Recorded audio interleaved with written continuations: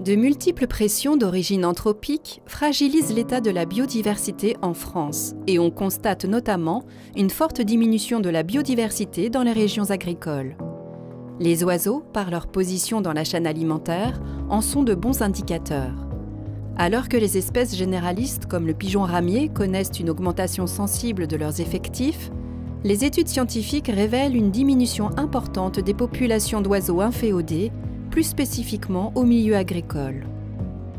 La simplification du paysage agricole, l'intensification des pratiques, fragilisent la biodiversité.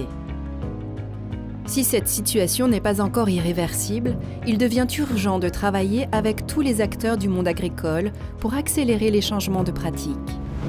En Lozère, pays d'élevage, la Fédération des chasseurs, la Chambre d'agriculture et l'Office français de la biodiversité porte le programme Agrifaune, qui vise à promouvoir et mettre en place des pratiques et des aménagements pour que l'espace agricole soit favorable à la biodiversité.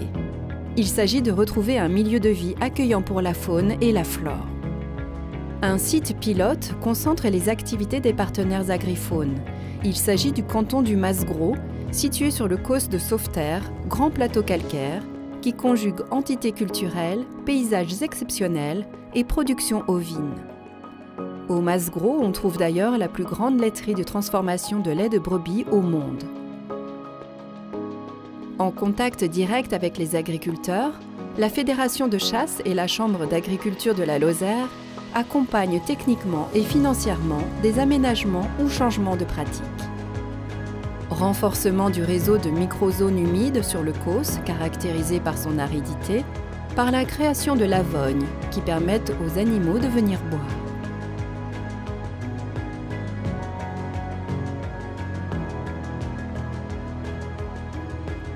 Implantation de haies pour restaurer des continuités écologiques dans l'espace agricole et faciliter les déplacements de la faune, voire d'y trouver le gîte et le couvert. Diminution de la mortalité de la faune sauvage lors des fauches avec l'achat et la mise à disposition d'une barre d'effarouchement. Des actions de sensibilisation ont aussi été menées sur la diminution de la vitesse de coupe et la fauche centrifuge. Maintien des chaumes après récolte, ou encore la gestion des bords de chemin. Préserver la biodiversité sur les exploitations agricoles passe parfois par des actions simples à mettre en œuvre. Les agriculteurs du Masgros souhaitent être inspirants et montrer qu'ils possèdent, par leurs pratiques, les clés du maintien de la biodiversité en milieu agricole.